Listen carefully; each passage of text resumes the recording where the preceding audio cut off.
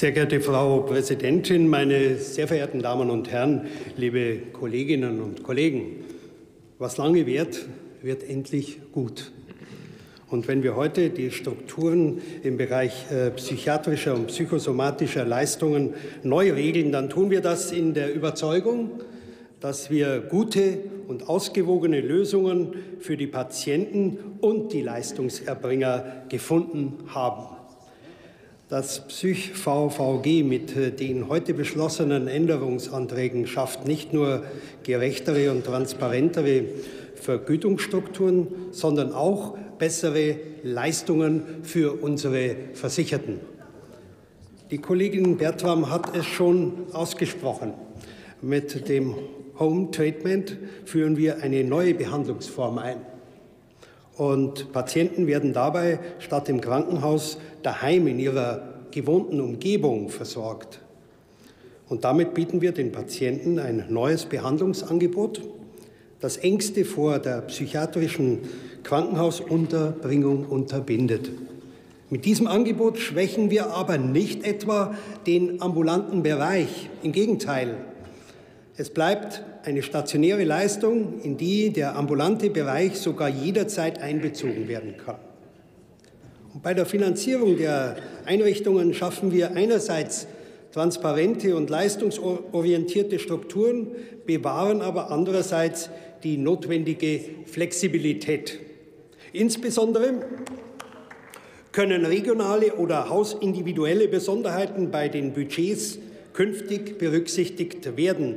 Und das ist gerade auf dem flachen Land besonders wichtig, wo oft wenige Einrichtungen den Großteil der Versorgung leisten müssen.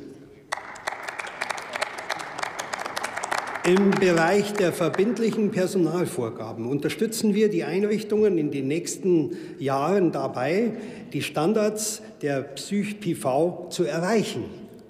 Und dazu wird es einschließlich bis 2019 einen Zuschlag auf die Budgets geben, wenn die Personalausstattung im Jahr 2016 noch unter diesen Anforderungen liegen sollte.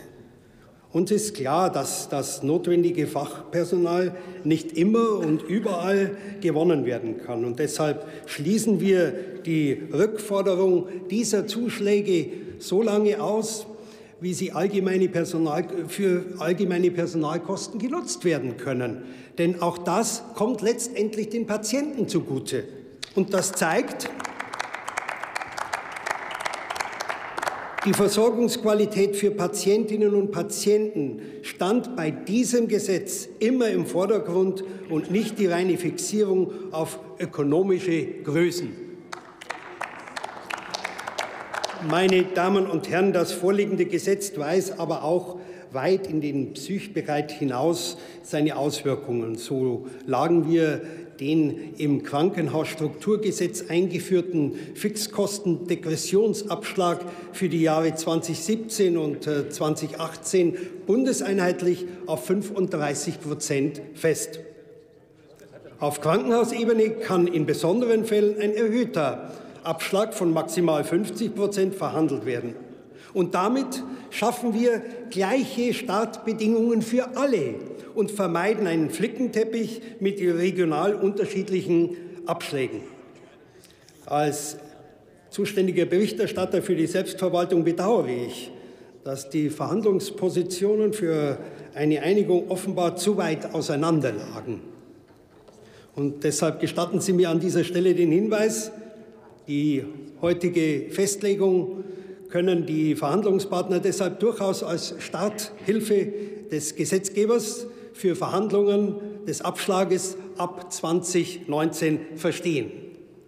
Meine Damen und Herren, die psychische Gesundheit von Patienten mit vielschichtigen Krankenhausverläufen ist ein sensibles Thema, für das wir uns viel Zeit genommen haben. Zahlreiche Anregungen und Stellungnahmen aus der Praxis sind in diesen Gesetzestext eingeflossen. Und heute kann ich deshalb sagen, das Psych-VVG ist ein großer Wurf.